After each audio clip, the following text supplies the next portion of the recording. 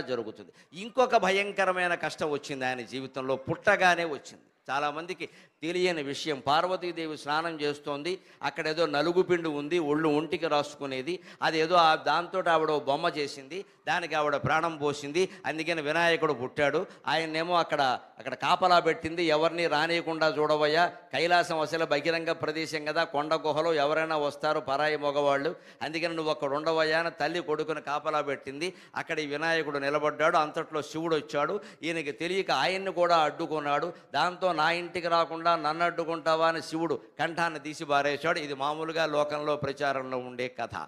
ఎప్పుడూ పురాణ కథల్లో ఖచ్చితంగా అసలైన తత్వం తెలియాలంటే కథ నిర్మాణంలో ఒక లోపం ఉంటుంది దాన్ని పట్టుకోవాలి మనం. ఒక లోపం ఉంటుంది. కుదరని యుక్తిపరంగా తార్కికంగా కుదరని విషయం ఒకటి ఉంటుంది. దాన్ని పట్టుకుంటే మిగిలినవన్నీ వస్తాయి. పార్వతీదేవికి నలుగు పిండితో బొమ్మ చేయాల్సిన అవసరం ఎందుకు వచ్చిందండి? ఆవిడ లలితాంబ కదా. జగత్తంతా ఆవిడ కుటుంబమే కదండి. అమ్మవారి కుటుంబం కానివారెవరండి ఆ బ్రహ్మకేట జనని వర్ణాశ్రమ విధాయని ఆ బ్రహ్మకీట జనని వర్ణాశ్రమ విధాయని బ్రహ్మదేవుడు మొదలుకొని చిన్న కీటకం వరకు పార్వతీదేవి సంతానమైన లలితా సహస్రంలో స్పష్టంగా ఉందా లేదా? మరి అటువంటప్పుడు ఈ నలుగు పిండితో బొమ్మ చేయడం పనేమిటండి ఆవిడకి? అక్కడ ఉంది లోపం. అది పట్టుకొని లాగితే మొత్తం కథ వస్తుంది. ఆవిడ స్నానాల గదిలో ఉండి నలుగు పిండి తీసుకుని బొమ్మ చేసి నా కొడుకు పుట్టాలి నా కొడుకు పుట్టాలి అని అనుకోవలసిన పని ఏమిటి లక్ష్మీదేవి అనుకోలేదే. లక్ష్మీదేవికి బ్రహ్మదేవుడు సంతానం అంటే లక్ష్మీదేవి గర్భం ధరించి బ్రహ్మదేవుడిని కనల. విష్ణుమూర్తి నాభికమల నుంచి బ్రహ్మదేవుడు ఉద్భవించాడు. విష్ణుమూర్తి భార్య కాబట్టి ఆవిడ ఆయన ఆవిడ సంతానం అయ్యాడు ఆవిడేం కనలేదు. అలాగే సరస్వతీదేవికి సరస్వతీదేవికి బ్రహ్మ మా- నారదుడు సంతానం బ్రహ్మమానస పుత్రుడు. ఆయన బ్రహ్మ మనస్సులో సంకల్పిస్తే పుట్టాడు. అంతేగాని సరస్వతి ఆయన్నేమో తొమ్మిది నెలలు మొయ్యల. మరి ఎవరికీ లేనిది పార్వతీదేవి నలుగు పిండి నలపడం ఇలాగా బొమ్మ చేయడం దానికి ప్రాణం పోయడం ఆ అవసరం ఎందుకు వచ్చిందండి? అది పట్టుకుని లాగితే మిగిలిన కథ అంతా వస్తుంది. పైగా ఇంకొక మాట.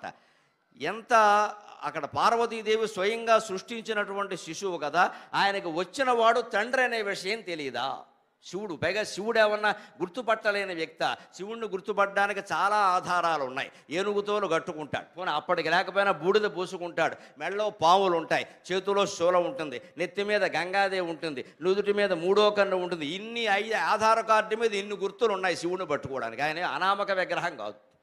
పోనీ మరో దేవుడు ఎవరినైతే అయితే గుర్తుపట్టలేరేమో అనుకోవచ్చు. శివుణ్ణి గుర్తుపట్టడానికి చాలా విశేషాలు ఉన్నాయి. అన్ని ఎదురుగా కనపడుతుంటే శివుణ్ణి లోపలికి రానియడ. పైగా పార్వతీదేవి ఎవరిని లోపలికి రానియద్దు అంటే భర్తను కూడా రానియద్దు అని అర్థమా?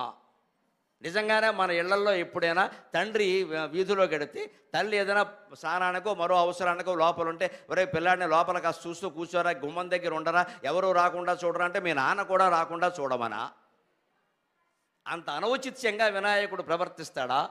అంత పోని ప్రవర్తించాడని అనుకుందాం పిల్లాడు చిన్న పిల్లాడు కాబట్టి అజ్ఞానంతో చేశాడని అనుకుందాం. శివుడికి ఏమాత్రమూ దయ లేకుండా దాక్షిణ్యం లేకుండా ఆయన తన కుమారుడు అనే విషయం పార్వతీదేవి చేసి ఉంటుందనే విషయం ఈయనకి తెలియదా? ఈయన ఏమీ తెలియకుండా శూలం పెట్టి కట్ మొత్తం కంఠం ఉత్తరిస్తాడా? ఇది జరిగే పనేనా?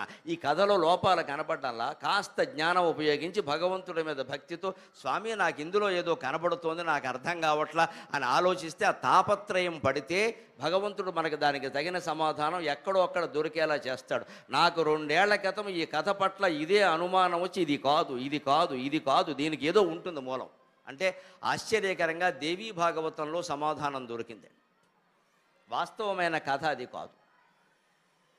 పార్వతీదేవి మానవ స్త్రీలాగా ఆలోచించింది. తాను గర్భం ధరించాలి తొమ్మిది నెలలు గర్భంలో పిల్లాడిని మొయ్యాలి పిల్లాన్ని కనాలి. ఇది దేవతా స్త్రీల లక్షణం కాదు. దేవతా స్త్రీలు ఎవరు గర్భం ధరించరు. లక్ష్మీదేవి గర్భం ధరించదు. సరస్వతీదేవి గర్భం ధరించదు. ఇంద్రుడు భార్య శశీదేవి గర్భం ధరించదు. రంభ గర్భం ధరించదు. ఊర్వశి గర్భం ధరించదు.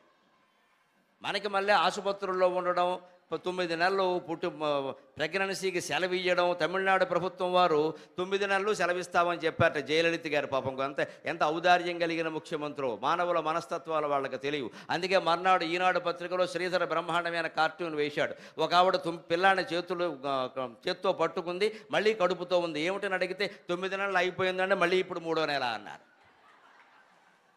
ఇలాగా ఉంటాయి ఇటువంటి సెలవులు పెడితే. ఖచ్చితంగా. ఇంక వాళ్ళు ఉద్యోగం చేయరు ఇంక పిల్లలకంటూనే ఉంటారు ఇంకా. ఇవి మానవ స్త్రీల లక్షణం అండి. గర్భం ధరించడం పిల్లల్ని కనడం పెంచడం ఇదంతా మానవ స్త్రీల లక్షణం. దేవతా స్త్రీలకి ఇది ఉండదు. కానీ అమ్మవారు మమకారానికి లోనై నాకు కుమారుడు ఉంటే బాగుండు నేను గర్భం ధరిస్తే బాగుండు నేను తొమ్మిది నెలలు వాడిని భరిస్తే బాగుండు మానవ స్త్రీలందరూ ఈ అనుభూతిని పొందుతున్నారు కదా. ప్రసవం అనేది ఆ పిల్లాన్ని గర్భంతో ధరించడం అనేది ప్రసవం అనేది ఎంత గొప్ప అనుభూతి. ఆ అనుభూతి మానవ స్త్రీలందరికీ ఉంది కదా. నాకెందుకు ఉండదు? అని శివుణ్ణి అడిగింది. ఖచ్చితంగా దేవీ భాగవతంలో ఉందా కదా. నాకు పిల్లాన్ని కనాలని ఉంది నాకు పిల్లాడిని కనాలని ఉంది అంటే ఆయన చెప్పాడు ఇది తప్పు ఇది ఈ ఆలోచన పెట్టుకోకూడదు కావాలంటే నీ సహస్రనామాలు నువ్వే చదువుకో. నిశ్చింత నిరహంకార నిర్మోహ మోహనాశని నిర్మమ మమతాహంత్రి నిష్పాప పాపనాశని. నిన్ను గురించి లోకమంతా కీర్తిస్తున్నారు. అమ్మవారికి ఎటువంటి చింత ఉండదు కాబట్టి అహంకారం కూడా ఉండదు. అమ్మవారికి ఎటువంటి మోహము ఉండదు కాబట్టి మోహాన్ని నశింపజేస్తూ మనం వ్యామోహం అంతా పుత్రుల మీదే కదండి. ఎన్ని కోట్లు మనం సంపాదించిన మన కోసమా? కోట్లు సంపాదించిన వాళ్ళు ఎవరు ఎవరినైనా మీరు గమనించండి. రెండు పూట్ల భోజనం చేయరు కనీసం రెండో పూట చపాతి తింటే అరగదు. ఒక పూటే అన్నం.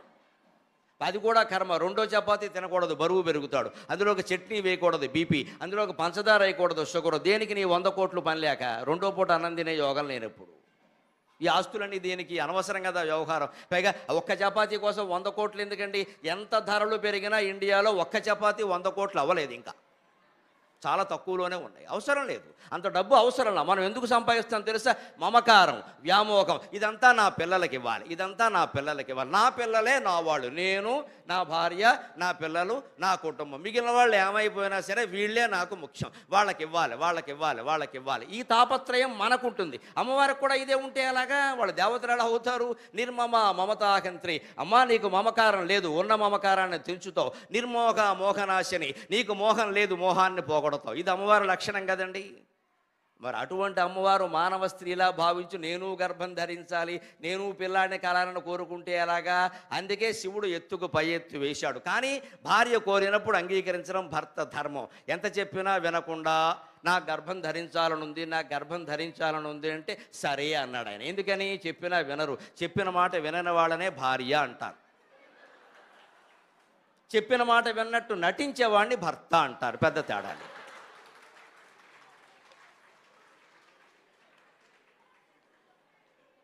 సంసారం అంటేనే అది ఒకరి మాట ఒకరు వింటే ఇన్ని తగాదాలు ఎందుకు ఉంటాయి? వినని వాళ్ళని భార్య అంటారు. విన్నట్టు నటించేవాడిని భర్త. విడు వినడు ఆ పోన్లే అంటాడు మొహమాటానికి.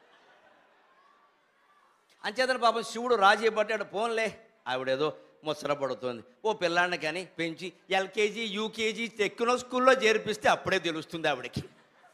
పైగా మరి ఈయన బెచ్చమెత్తి పోషించాలి. ఇన్ని లక్షల ఫీజు ఈయన ఎక్కడ కడతాడు? అందుకని తెలుస్తుంది పోన్లే అని ఊ అన్నాడు. అప్పుడు మరి పిల్లాన్ని కనాలంటే గర్భం ధరించాలంటే ఏకాంతంగా గడపాలి కదండి. శివుడు పార్వతి ఒక కొండ గుహలో ఏకాంతంగా ఉన్నారు. ఇక మనం చెప్పుకోకల వివరాలు. ఇది దేవేంద్రుడికి అసూయ కలిగించింది. దేవతల్లో కూడా అసూయాద్వేషాలు ఉంటాయి. దేవతలు మానవులు రాక్షసులు అనేవి గుణభేదాన్ని బట్టి ఏర్పడ్డ జీవులు వాళ్ళు. తమో గుణం ప్రధానంగా కలిగిన వాళ్ళు రాక్షసులు. నిద్ర ఆలస్యం బద్ధకం హింస ఇవన్నీ తమోగుణం లక్షణాలు. అవి ప్రధానంగా కలిగిన వాళ్ళు రాక్షసులు. రజోగుణం ప్రధానంగా కలిగిన వాళ్ళు మానవులు అంటే పోటీ పడ్డం పంతాలు పట్టింపులు కక్షలు కార్పణ్యాలు ఇదే రజోగుణం. ఈ రజోగుణం మనకి ఎంతసేపు? మన గురించి ఆలోచన కాదు. వాళ్ళ కారు ఉంది నాకు లేదు. వాళ్ళ పిల్లాడు ఫస్ట్ వచ్చాడు మా పిల్లాడు ఫస్ట్ రాలా. వాళ్ళ అబ్బాయి అమ్మాయికి మంచి సంబంధం వచ్చింది మా అమ్మాయికి మంచి సంబంధం రాలా. అంటే వాళ్ళ అమ్మాయికి అంత గొప్ప సంబంధం రాకపోతే మనకేం గొడవ లేదు. వాళ్ళు కారు కొనకపోతే మనకు కారు అక్కల. మనకు కారు ఎందుకు కావాలంటే మన అవసరం గురించి కాదు. వాళ్ళకు ఉంది కాబట్టి మనకు కావాలి. ఇది మానవుల లక్షణం అండి. దీన్ని రజోగుణం అంటారు. ఈ రజోగుణం ప్రధానంగా కలిగిన వాళ్ళు మానవులు. దేవతలు అలా కాదు. సత్వగుణం ప్రధానంగా ఉంటారు. వాళ్ళు శాంతంగా ఉంటారు. ఈ కోరికలన్నీ వాళ్ళకు ఉండవు. ఉన్నదాంతోనే సంతృప్తిగా ఉంటారు. మనం ఆ దైవత్వాన్ని పొందాలి. సత్వగుణాన్ని సాధించాలి. అలా సాధించవలసినటువంటి దేవతలు దేవేంద్రుడు వాళ్ళలో కూడా ఆ సత్వగుణమే ఒక్కోసారి అహంకారానికి దారితీస్తుంది నేనే ధర్మాత్ముడు లోకంలో మంచి గుణాలు ఉన్న వాళ్ళు చాలామంది ఉంటారు. దాన ధర్మాలు చేస్తారు. గుళ్ళు కట్టిస్తారు. బళ్ళు కట్టిస్తారు. చెరువులు తవ్విస్తారు. అన్నీ చేస్తారు. విద్యాదానం చేస్తారు. దాన ధర్మాలు చేస్తారు. కానీ చాలా గర్వ ఉంటుంది మనస్సులో. నేనే చేశానండి. ఇంకెవరూ చేయలేదండి. అసలు ఈ ఊళ్ళో మొత్తం నేనేనండి. అన్నీ నేనే కట్టించా. ఇదే సాత్విక అహంకారం అంటారు ఇది కూడా ఉంటుంది.